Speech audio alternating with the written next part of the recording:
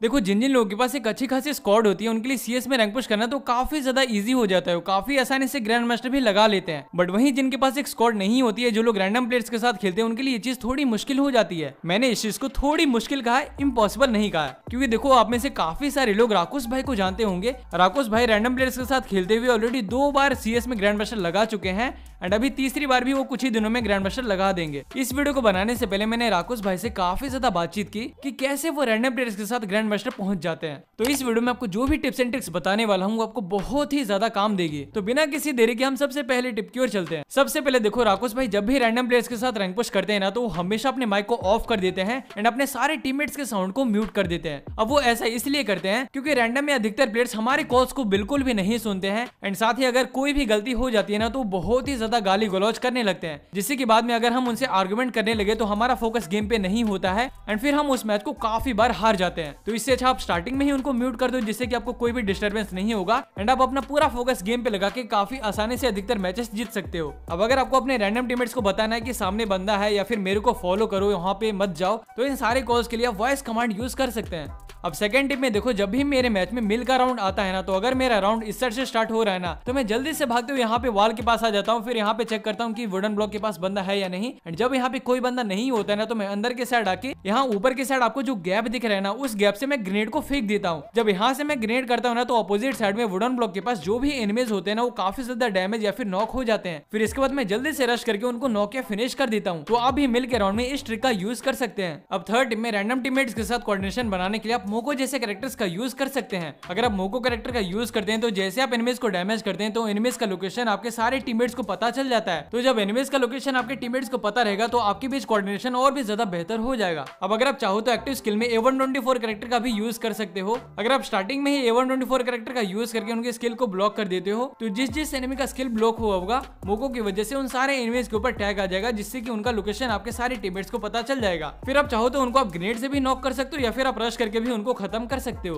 अब fourth tip में मैं आपको एक बहुत ही बढ़िया हिडन प्लेस बताता हूँ जो कि आपको काफ़ी ज़्यादा हेल्प करेगा। तो ये हिडन प्लेस है इंटेलेक्ट सेंटर पे। यहाँ पे देखो आपका राउंड चाहे जिस भी साइड से स्टार्ट हो रहा है, आपको जल्दी से भागते हुए यहाँ पे बीच में आ जाना है। फिर इधर जिस तरह से मैंने दो ग्लॉस लगाए ना, उसी तरह से आपको एक के ऊपर एक ग्लॉ लगा देनी है। एंड इसके बाद आपको किसी एक टीममेट की मदद से आपको ग्लॉस के ऊपर आ जाना है। फिर आप ग्लॉस से चढ़ के यहाँ पे ऊपर आ जाओगे। एंड यहाँ पे ऊपर आने के बाद आप अपने टीममेट्स को काफ़ी अच्छा खासा कवर दे सकते हो। जब आप एनिमीज पे फायर करोगे ना तो उनका ध्यान अचानक आपके ऊपर नहीं आएगा। उनको पता नहीं चलेगा की कहाँ से मुझे डैमेज पड़ रहा है। एंड अगर वो आपको स्पॉट करके डैमेज भी दे देते ना तो उसका भी सोल्यूशन है यहाँ पे। आपको यहाँ पे थोड़ा आगे आके ना, अंदर के साइड घुस जाना है। यहाँ पे जब आप अंदर आ जाओगे ना तो आप पूरी तरह से सेफ़ रहोगे, आपको किसी भी टाइप का डैमेज नहीं पड़ेगा। तो इस हिडन प्लेस का ना आपको ज़रूर से यूज़ करना है। अब हिडन प्लेसेस से रिलेटेड मैं आपको कुछ मिस्टेक्स के बारे में बताता हूँ, जो कि आप लोग अक्सर करते हो एंड जिसकी वजह से आप काफ़ी बार मर भी जाते हो। देखो, जब भी हम किसी हिडन प्लेस या फिर हाइट वाले प्लेसेस पे जाते हैं ना, जैसे कि ये सेंटोसा वाला राउंड हो गया तो यहाँ पर अगर आप टायर से चढ़ के घर के ऊपर जाते हो ना तो आपको ना सामने जो भी एनिमी होगा, वो आपको काफ़ी आसानी से डैमेज करके नॉक कर सकता है। तो जहाँ जहाँ पे आपको सामने एनिमल दिखेंगे ना, वहाँ पे आपको टायर से चढ़ के ऊपर नहीं जाना है। आप उसकी वजह घर के पास ग्लुआ लगा के ग्लुआ से ऊपर चढ़ सकते हो। और फिफ्थ टीम में देखो आपका जो भी रैंडम टीममेट सबसे बढ़िया खेला होगा ना, आपको हमेशा उसी के साथ रहना है। वो अगर रश कर रहा है तो आपको उसके साथ रश करना है अगर वो होल्ड कर रहा है तो आपको उसी के साथ होल्ड करना है। अगर आप उसके साथ अच्छी तरह से कोऑर्डिनेशन बना के खेलोगे ना तो आप काफ़ी आसानी से किसी भी राउंड को जीत जाओगे। एंड उसके साथ कोऑर्डिनेशन बना के खेलने से हो सकता है वो बंदा आपके साथ और भी मैचेस खेले एंड बाद में हो सकता है वो आपका अच्छा खासा दोस्त भी बन जाए। एंड इस तरह से आप प्लेयर्स इकट्ठा कर करके आप अपना एक परमानेंट स्कॉट बना सकते हो। अब सिक्स टिप में आपको रैंडम प्लेयर्स के साथ खेलने के लिए एक बहुत ही बढ़िया कैरेक्टर कॉम्बिनेशन बताता हूँ, जो की आपको काफ़ी ज़्यादा हेल्प करेगा। इस कॉम्बिनेशन के एक्टिव स्किल में आपको यूज़ करनी है ओरियन कैरेक्टर का स्किल देखो ओरियन कैरेक्टर आपको किसी भी टाइप के डैमेज से बचा देता है, चाहे वो एनिमी से डैमेज हो गया जोन से डैमेज हो गया फिर ग्रेनेड से डैमेज हो गया। एंड ओरियन की मदद से आप सोनिया कैरेक्टर को काफ़ी आसानी से टैकल कर सकते हो। जैसे ही आपका एनिमी का सोनिया कैरेक्टर एक्टिव होता है तो आपको वहाँ पे ओरियन बन जाना है, जिसके बाद वो काफ़ी आसानी से नॉक हो जाएगा। एंड लास्ट में ओरियन की वजह से आप one v two one v या फिर वन फोर सिचुएशन को भी काफ़ी आसानी से हैंडल कर सकते हो। अब पैसिव कैरेक्टर्स की बात करें तो इसमें आप मेगुएल सोनिया मोको या फिर हयाटो का यूज़ कर सकते हो। और अगर आप इस कॉम्बिनेशन का यूज़ करें ना तो आपको पेट में ज़रूर से ओटेरो पेट को लेके खेलना है। ओटेरो पेट की वजह से जब आप कोई भी हीलिंग आइटम यूज़ करते हैं ना तो आपका जितना भी एचपी रिकवर होता है ना, उसका 55% आपको ईपी भी मिल जाता है। यानी कि मान के चलो, अगर आप एक सुपर मेडी का यूज़ करते हैं ना तो आपको वहाँ पे एचपी तो फुल होगा ही होगा बट उसी के साथ आपको वहाँ पे लगभग हंड्रेड का ईपी भी मिल जाएगा। तो ओरियन यूज़ करने वालों के लिए ओटेरो काफ़ी ज़्यादा बढ़िया पेट है। अब आगे बढ़ने से पहले क्या भी वर्ल्ड कप में पैसे कमाना चाहते हैं तो आज मैं बताऊँगा वन एक्स बेट के बारे में, जो बहुत ज़्यादा ट्रस्टेड वेबसाइट है। ये सिर्फ़ इंडिया में ही नहीं, बल्कि और भी 135 कंट्रीज़ में वर्क करती है। यहाँ पे आपको फ़र्स्ट डिपॉजिट पे welcome bonus thirty three thousand का बोनस मिलेगा एंड यहाँ पे आप किसी भी स्पोर्ट्स पे प्रेडिक्ट करके पैसे अर्न कर सकते हैं। और जो जीते हुए पैसे हैं, उसे आप दो मिनट में अपने बैंक अकाउंट में ट्रांसफ़र करा सकते हो, या फिर फ़ोन पे गूगल पे पेटीएम के through without any tax and commission के विड्रॉ कर सकते हो। एंड सिर्फ़ इतना ही नहीं, यहाँ आपको more than three live casino games भी मिलेगा। तो देर किस बात की है लिंक आपको कमेंट बॉक्स और बायो में मिल जाएगा। जल्दी जल्दी जाओ डाउनलोड करो नेक्स्ट बेट को एंड यूज़ में प्रोमो प्लेयर ट्वेंटी जिससे आपको मिलेगा फोर्टी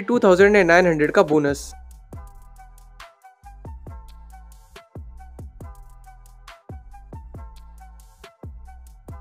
अब सेवन थर्टी में देखो, जब भी आप रैंडम प्लेयर्स के साथ खेलते हो ना तो आपको कभी भी सबसे आगे रश नहीं करना है। आपको हमेशा किसी ना किसी टीममेट के पीछे रहना है। अगर आप किसी टीममेट के पीछे रहोगे तो वहाँ पर आप ज़्यादा सेफ़ रहोगे। एंड वहीं अगर आप सबसे आगे रहते हो तो वहाँ पर आपके नॉक होने के चांसेस ज़्यादा रहेंगे। एंड रैंडम्स का तो देखो, कोई भी भरोसा नहीं होता कि वो आपको कवर देंगे या नहीं देंगे। तो इसलिए आपको हमेशा कभी भी एनिमीज पे ब्लाइंड रश नहीं करना है, या फिर आपको कभी भी अकेले नहीं रहना है। आपको ज़्यादा से ज़्यादा थोड़ा पीछे रख अपने टीममेट्स को कवर देने का ट्राई करना है, जिससे की आपको किल्स भी काफ़ी आसानी से मिल जाएँगे। अब एट टीम में देखो, कई बार हमारे टीममेट स्टार्टिंग में ही नॉक हो जाते हैं हमारे सामने वन वी थ्री या फिर वन वी फोर का सिचुएशन आ जाता है। तो वन वी थ्री या फिर वन वी फोर सिचुएशन में आपको सबसे पहले एक एनिमी को फिनिश करना है। जो भी एनिमी आपको अकेले मिलेगा या फिर आपके ऊपर रश करता रहेगा तो उसे आपको सबसे पहले फिनिश कर देना है। फिर फिनिश करने के साथ ही आपको जल्दी से अपना पोजिशन चेंज करके किसी दूसरे कवर के पास चले जाना है। फिर वहाँ से अगर आप किसी एनिमी को नॉक करते हैं तो फिर से आपको जल्दी से पोजिशन चेंज करके किसी और दूसरे कवर के पास चला जाना है। अगर आप अपना पोजिशन चेंज करते रहेंगे ना तो एनिमीज काफ़ी ज़्यादा कंफ्यूज हो जाएँगे। एंड इस चीज़ का एडवांटेज लेके आप कई बार ऐसे सिचुएशंस को निकाल सकते हो। अब नाइन थर्टी में आपको कुछ ऐसे राउंड्स बताता हूँ जहाँ पर आप स्टार्टिंग में ही काफ़ी आसानी से फ्लैंग करके एनिमीज को फिनिश कर सकते हो।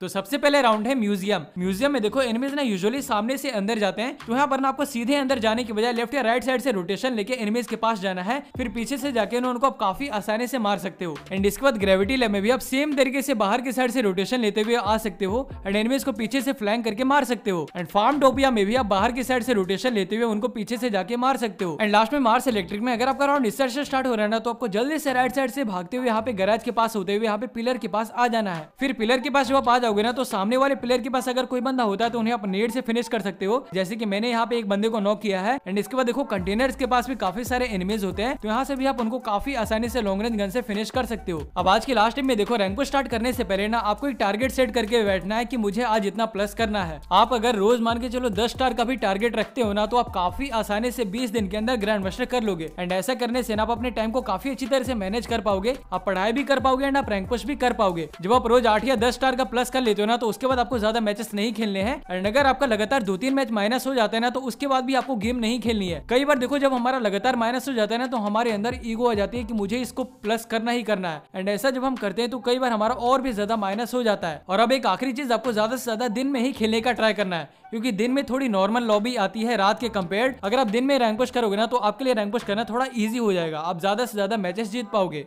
तो यार यही था आज की वीडियो के लिए। अब अगर आप अपने लिए एक बेस्ट कैरेक्टर कॉम्बिनेशन ढूंढ रहे हैं ना तो आप लेफ़्ट वाली वीडियो को देख सकते हो। उसमें मैंने अभी के टाइम के पाँच सबसे ज़्यादा बढ़िया कैरेक्टर कॉम्बिनेशन बताए हैं। तो आपको आपके रोल के हिसाब से एक अच्छा सा कैरेक्टर कॉम्बिनेशन मिल जाएगा। एंड वहीं अगर आपको ग्रेड्स की टिप्स एंड ट्रिक्स की वीडियो देखनी है तो आप राइट वाली वीडियो को क्लिक करके देख सकते हो। एंड अगर आपको ये वीडियो अच्छी लगी हो तो इसे एक लाइक ज़रूर कर देना। एंड अगर आप हमारे चैनल पर नए तो इसे सब्सक्राइब कर देना। एंड आप राकोस भाई के चैनल को भी सब्सक्राइब कर देना। तो तब तक बाबा मिलते हैं एक और वीडियो में।